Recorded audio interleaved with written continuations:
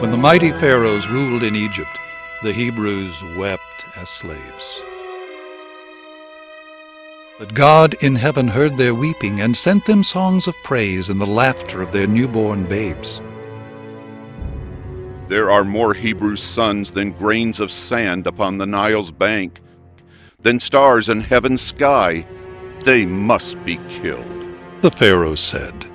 And Moses, set adrift upon the Nile, cried. Yet his small cry was heard. This tiny sob that could not touch the Pharaoh pierced the heart of Pharaoh's child. Take him up. His princess daughter said.